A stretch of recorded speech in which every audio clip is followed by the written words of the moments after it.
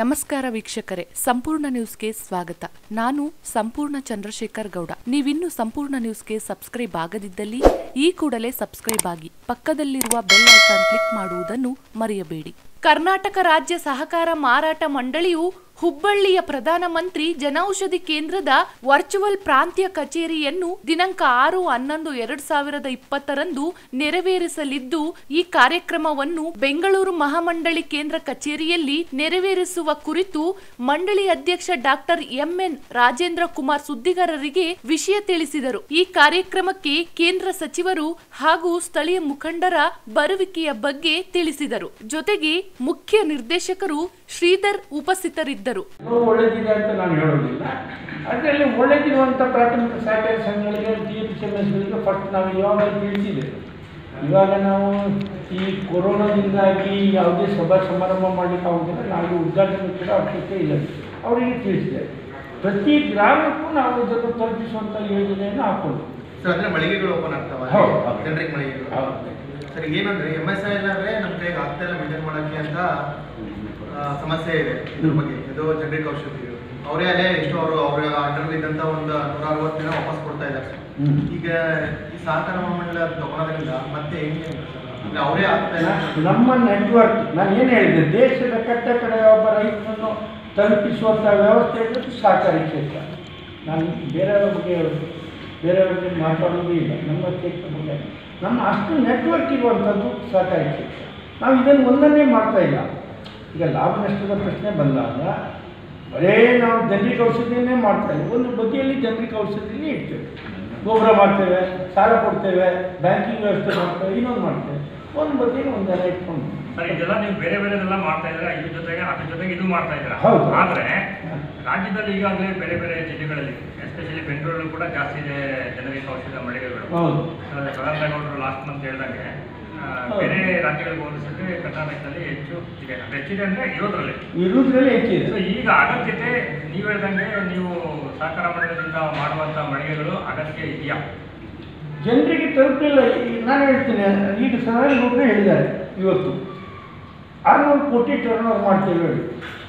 Total ಔಷಧಿಗಳ turn over ಎಷ್ಟು ಲಕ್ಷ ಕೋಟಿಯಲ್ಲಿಲ್ಲ ಹೌದಲ್ಲ ಇದು ಬರೀ ಜನರಿಕ್ ಔಷಧಿ ಟರ್ನ್ ಹೋದ ವರ್ಷ ನಾನ್ನೂರ ಮೂವತ್ತ್ಮೂರು ಕೋಟಿ. ಇದನ್ನು ಹೆಚ್ಚು ತಿಳುವಳಿಕೆ ಕೊಟ್ಟು ಮಾಡಬೇಕು ಮತ್ತು ದರದಲ್ಲಿ, ಕಮ್ಮಿ ದರದಲ್ಲಿ ಸಿಗ್ತದೆ. ಅದನ್ನು ನಾವು ಜನರಿಗೆ ತಿಳುವಳಿಕೆ ಮಾಡುವಂಥ ಕೆಲಸವನ್ನು ಮಾಡ್ತೀವಿ ಕೇಂದ್ರ ಸರ್ಕಾರದ ಕೆಲಸವನ್ನು ಮಾಡ್ತೀವಿ. ಅದೇ ರೀತಿಯಾಗಿ ಬೆಲೆ ಸ್ಥಿರೀಕರಣದ ನಿಧಿಯ ಯೋಜನೆಗಳನ್ನು ಮಹಾಮಂಡಲ ಮಾಡ್ತಾ ಇದೆ.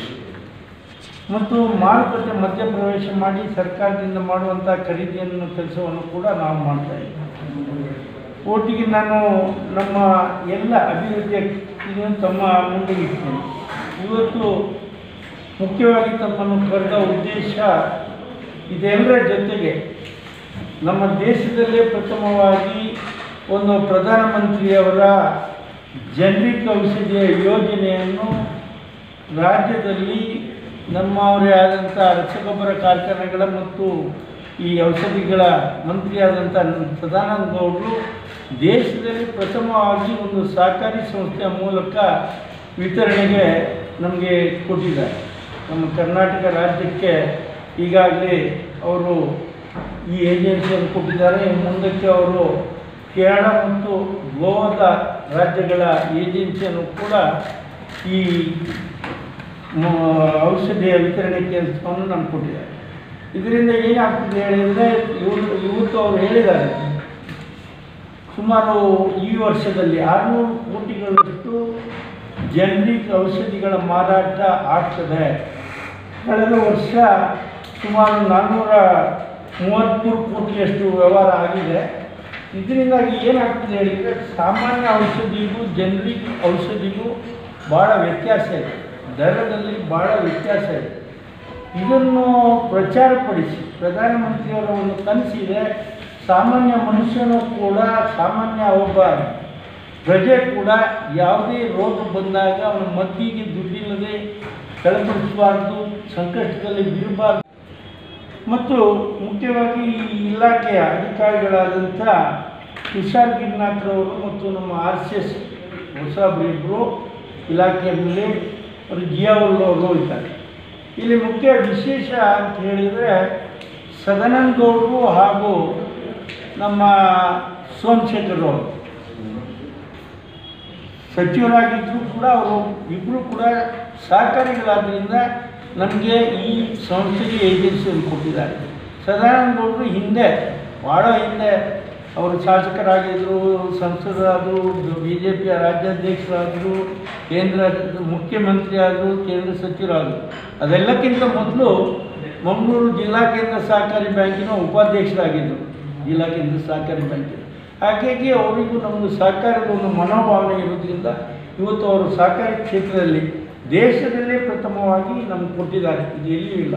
ಇನ್ನು ಕೇರಳ ಕೊಡ್ತಾ ಇದ್ದಾರೆ. ಆ ಸಮಾರಂಭವನ್ನು ನಾವಿದು ನಾವಿನ್ನು ಮಾಡ್ತಾ ಇದ್ದೇವೆ.